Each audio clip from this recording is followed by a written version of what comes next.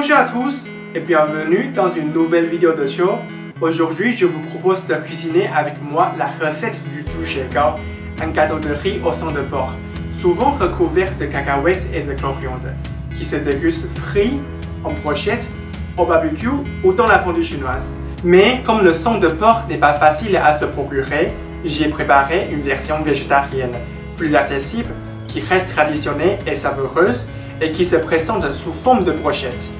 Pour la brochette, il vous faut 80 g de riz gluant, 80 g de riz noir ou violet, 50 g de farine de riz gluant, 30 g de farine de riz, 15 g d'algues séchées, une petite cuillère de sauce soja, une grande cuillère d'huile de sésame blond, une pincée de sel et de poivre, 120 ml d'eau, des pics en bois et de la poudre de cacahuète.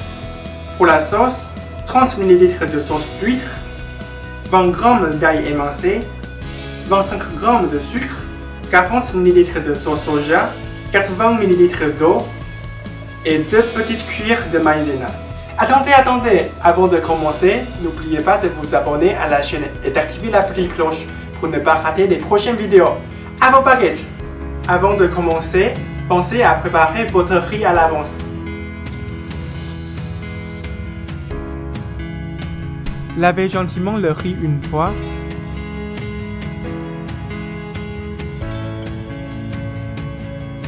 Et laissez-le reposer dans l'eau pendant 8 heures. Après 8 heures, égouttez-les et réservez pour plus tard. Puis, commencez d'abord par la préparation qui remplacera le sang de porc. Prenons un mixeur et mettons-y l'eau, la sauce soja,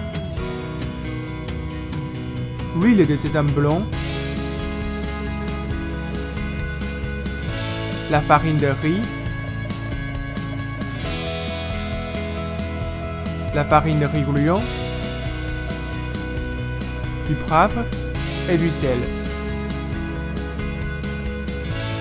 Enfin, les algues qui nous donneront une belle couleur noire, ainsi que la cinquième saveur, l'umami. L'umami, c'est le cinquième goût. C'est un composant qu'on trouve dans les algues et les champignons, qui rend les plats plus savoureux. On va bien mixer le tout, puis j'incorpore ce mélange au riz.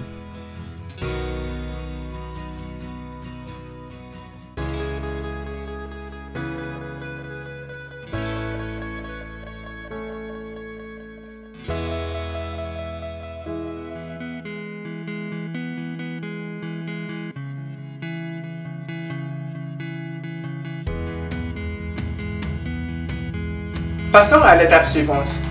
On prend un moule et on va y mettre une couche de papier sulfurisé.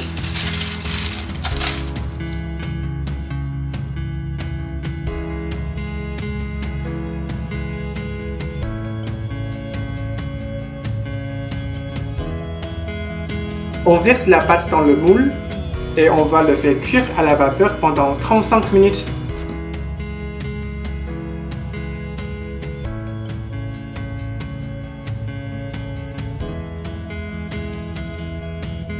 Pour la sauce, c'est tout simple. On met tout dans une casserole et on porte à ébullition.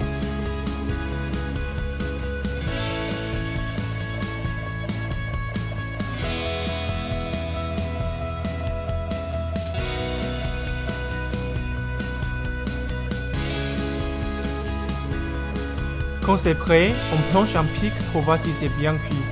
S'il n'y a pas de pâte crue sur le pic, on peut le réserver pour qu'il refroidisse. Pour le déguster, on va découper le gâteau en grosses bandes. On prend des pics en bois et on les plante au centre de chaque bande.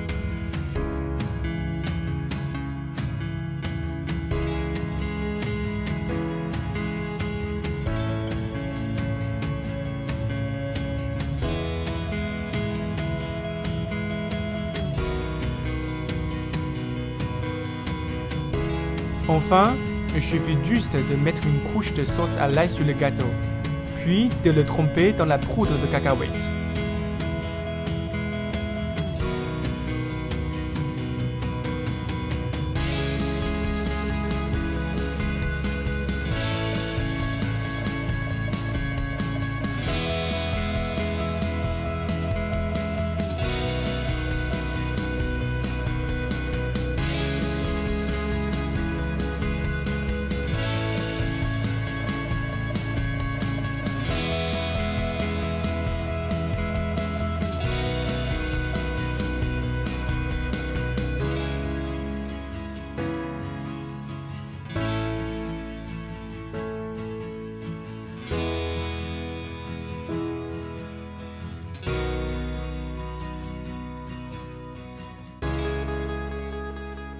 À table, c'est chaud